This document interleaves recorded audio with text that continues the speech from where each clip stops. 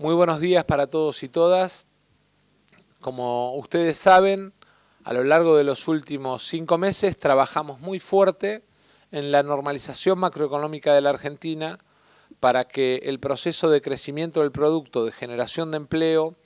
y de aumento de, o recuperación de consumo no se vea afectado por aquellas medidas a tomar que tuvimos que tomar o que tenemos que tomar en materia macroeconómica. Nos fijamos en aquel momento cuatro premisas. El orden fiscal, la acumulación de reservas, el aumento o el crecimiento de las exportaciones argentinas y el desarrollo con inclusión. Y en ese sentido apostamos a que inversión pública e inversión privada ayudaran al desarrollo con inclusión,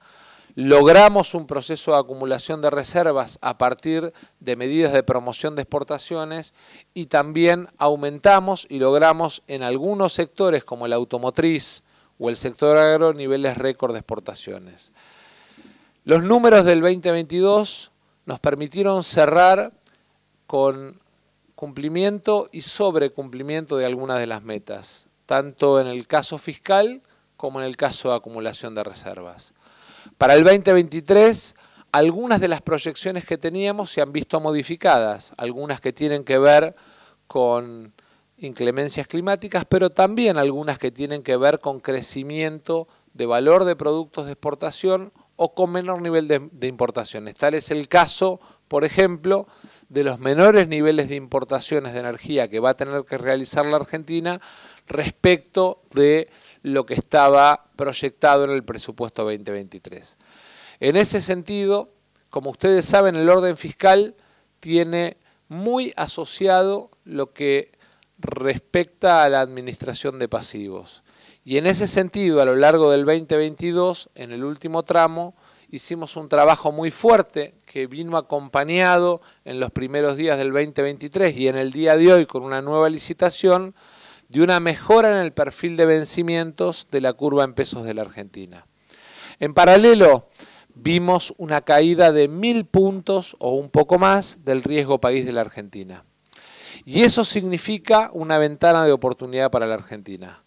Por eso hemos tomado la decisión de llevar adelante un proceso de recompra de la deuda externa argentina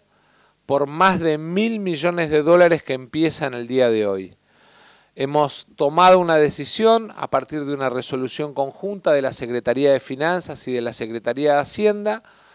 de autorizar o encomendar para la mayor transparencia de la operación al Banco Central de la República Argentina a que en nombre del Tesoro lleve adelante ese proceso de recompra a los efectos de seguir mejorando el perfil de deuda externa de la Argentina para seguir bajando lo que se denomina riesgo país, que de alguna manera mejora las posibilidades de las empresas argentinas y del Estado argentino de acceder al mercado de capitales. Este es un primer paso de mil millones de dólares, muy enfocado en los globales, sobre todo los de corto vencimiento, 29, 30,